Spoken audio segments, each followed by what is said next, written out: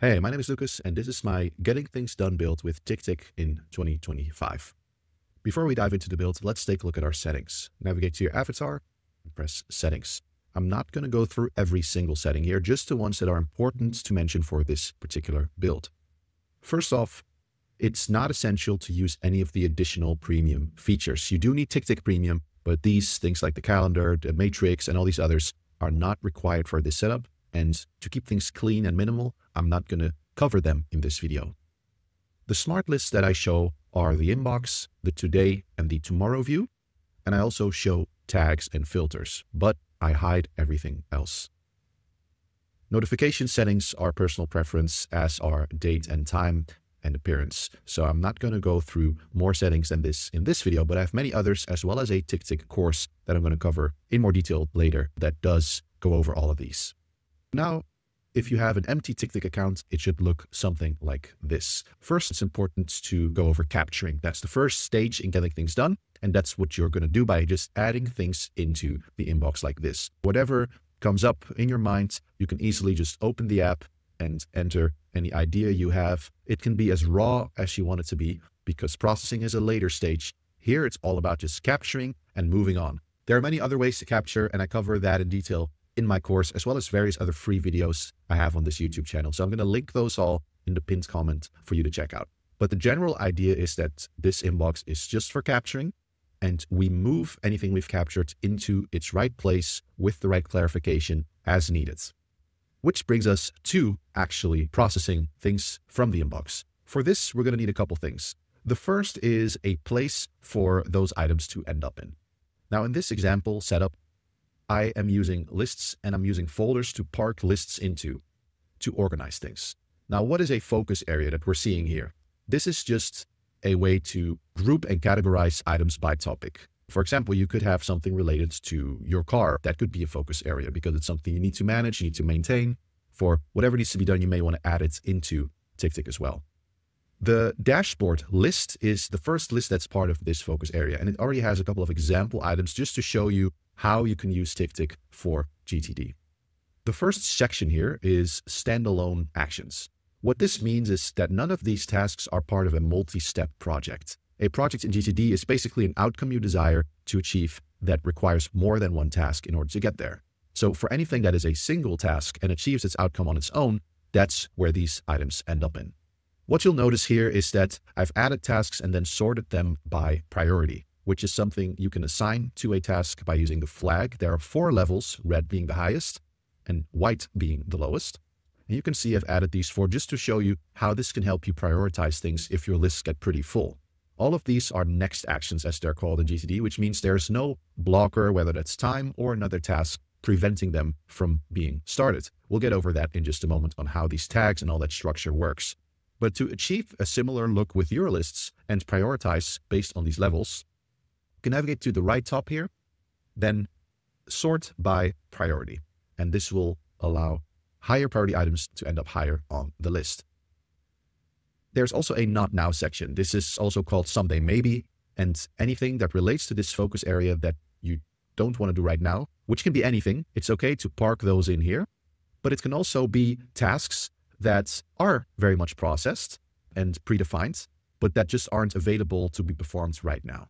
And here's an example of just that. This is a predefined task with a start date of next week as of recording this video. So what you'll notice here is I'm using the date association, which is often interpreted as a due date. In other words, it's the date when something needs to be done. But actually, you can just use it as a start date as well. The way I distinguish tasks that are available versus ones that aren't is by deploying a next tag for next action. Under tags, before we dive into the other lists and everything else, I want you to add the following tags. Next, to assign to tasks that don't have any blockers. Waiting for tasks that are not performed by you, but that you want to keep a kind of paper trail of. And contexts. We're going to expand these in a moment because there's some additional refinement we want to add to these. But basically what needs to happen here once Monday arrives, as this description also informs us, that by Monday, this task becomes available. So on Monday, we just press plus, we add the next tag, and we move it to the standalone actions list because now this is an available action. And that's how you can manage your tasks from a project view, but we're going to find a better way to manage our tasks in a moment. This is just to keep things organized and ensuring that when you want to actually get things done, you'll have it all pre-configured and all you need to do is get going. There's also the reference material section. You can also bundle this with support material, although I just use that specifically for projects. And again, we spoke about the car example. You may want to have a copy of your driver's license here as an image, which is possible to do. And you can have it as a note instead of a task, which means it cannot be accidentally ticked off if you don't want it to be. In order to do this, you right click and you convert to notes, or in this case, it says tasks, so you can go back and forth. Now let's take a look at the two types of projects we can actually have, which are sequential projects and parallel projects. Let's start with parallel projects. The way I interpret a parallel project is this is an outcome that you want to achieve that requires multiple tasks in order to get to it. But those tasks are not dependent on one another. In other words, they can be completed in a random order. All that matters is that at some point, all of the tasks are actually complete. The way I do this is by just grouping everything under the actions section, which I've created here. I call them puzzle pieces in this case, because again, it doesn't matter in which order you lay the puzzle, as long as eventually every piece is put together and you see the full image. All of these are next actions. This is actually an action that needs to be performed by someone else, just to give you an example of what the waiting tag looks like. And this is an example of a task that had a time blocker but as this description implies, once the associated date hits today, add next. And then there may be a due date even, which can be June 14th. So what we're going to do here is we're going to add this tag and now we're going to change the date to what is now to be interpreted as a due date. So basically next tag plus date equals due date. Date without next tag equals start date. Now that we've done this, and we have support material here. It might be a note on the project. And you can notice how TickTick supports formatting quite extensively, which is nice to help us move this to the finish line. This is pretty straightforward, but there's also something arguably more complex, and that's a sequential project. The difference between a parallel and a sequential project is that in a sequential project, tasks need to be performed in a certain order. In other words, they do, in fact, depend on one another. That's why here, the tasks are not called puzzle pieces, but they're called steps. I'm using TickTick's subtasks functionality here in order to get as close to an automatic blocker dependency kind of view as TickTick allows us to. Because unfortunately, TickTick does not allow us to link tasks with one another and automatically make them available, or in other words, next actions, once the blocker is complete. So we're going to have to work around that a little bit here. What I've done is to first create a task. This is the main level, if you will.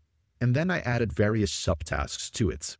You can do this by right-clicking and then add subtask here. And you can do this quite a few times, as you can see. And that's exactly what I've done. So in this case, we have a sequential project that includes a five-step sequence of tasks. Now, it's important to read this from bottom to top because if you were to start with step one here and add all the others below, which might seem more intuitive if you read from left to right or from top to bottom usually, what you'll see happening is that all the steps below also get completed because this is interpreted as a parent task. We're working around this by reading it upside down.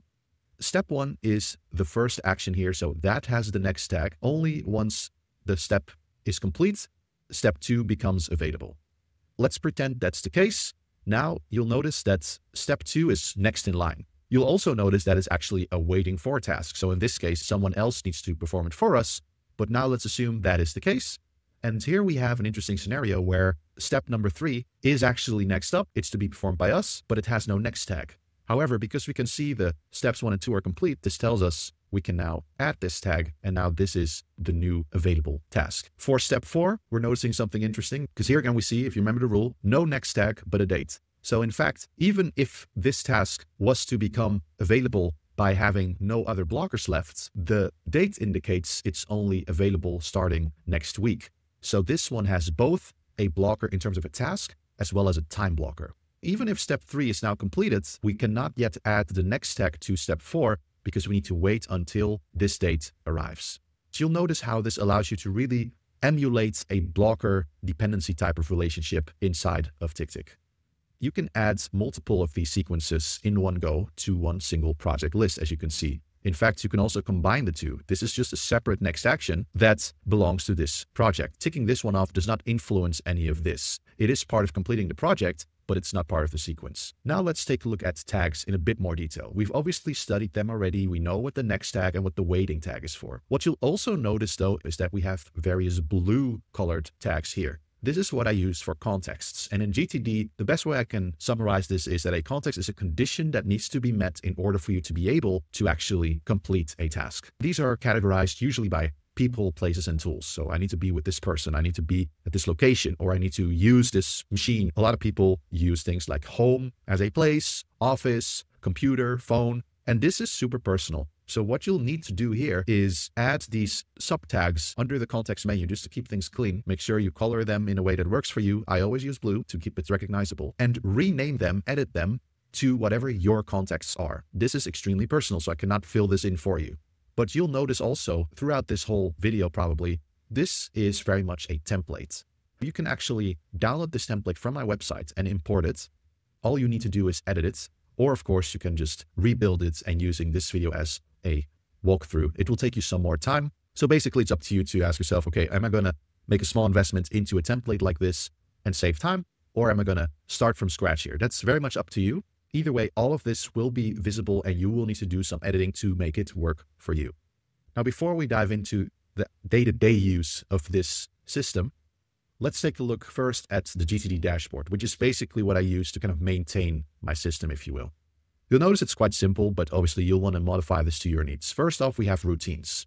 They are check, clear, time-blocked tasks, which I'll get to in a moment. We have the weekly review, we have the monthly review and the annual review. The weekly review, if you've read the GTD book, is one of the most important rituals that is part of GTD. It consists of various things like clearing your inboxes, making sure all your projects and tasks are up to date, and doing some cleanup. What that looks like is very much up to you, but I have created a template here that is part of this whole setup that you can use and reuse anytime you add a new task. So whenever a weekly review is due, for example, you can just go to any task input menu in TickTick, press the down arrow, add from templates, and then you can modify this, for example, by adding a date and just checking things off as you go without having to recreate it every time. It's really up to you what other rituals you do and when you do them whenever you want to. Really, you can set this up in the very intuitive setting here under calendar. So if I move this down to 20, and I have the weekly repetition set up, it's going to move right along with that on the calendar as well. I have more videos on how this all works on my channel. The one higher level item that I also add here that you may want to do as well is tracking your goals. TickTick has a rudimentary but still usable way to do this. It's very much a task. And in this example, it's a long-term goal that's 30% complete. TickTick has kind of a hidden hmm. menu here below this section that when you hover over it and click it, it allows you to measure the progress. You can also use the checklist feature, which is separate from a subtask to add certain milestones. And it's up to you how you manage this, whether you want to link to it like I have here, or whether you just want to name it and check it off. But this is something that I check in with during the weekly review as well to make sure I know how I'm tracking to my goals. Now, let's take a look at maybe the most important part of this whole build, the part where it all comes together and where we take a look at using this on a day-to-day basis when you actually do the work. And the thing that makes this all possible is filters. You want to make sure you make your next actions as accessible as possible because in the end, all it needs to do for you is inform you of what needs to be done, what you can do right now in order to achieve your goals, meet your commitments, to do what needs to be done.